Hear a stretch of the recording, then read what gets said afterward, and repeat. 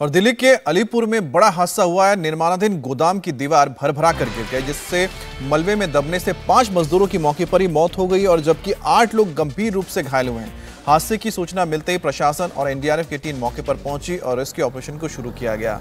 आप देख सकते हैं, इसके लिए खास इक्विपमेंट्स का इस्तेमाल किया जा रहा है और साथ ही स्निफर डॉग्स भी बुलाए गए हैं।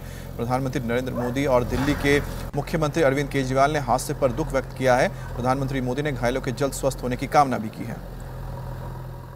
इंडिया टीवी हर वक्त, हर जगह। डाउनलोड करने के लिए सर्च करें India TV news, Google Play Store या एप स्टोर पर।